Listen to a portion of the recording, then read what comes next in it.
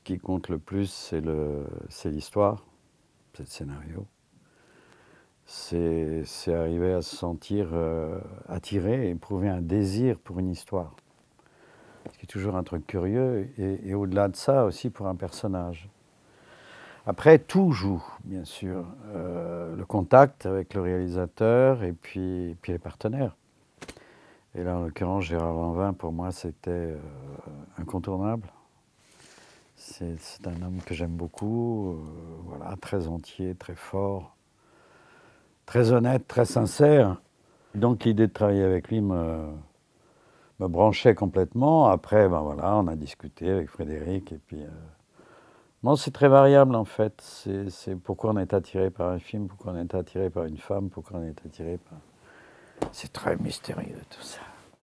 Ce qui m'intéresse, moi, c'est une façon de répondre à la question, c'est euh, d'essayer de, donner le plus de sang, de simplicité et d'humanité à tous les personnages que j'interprète.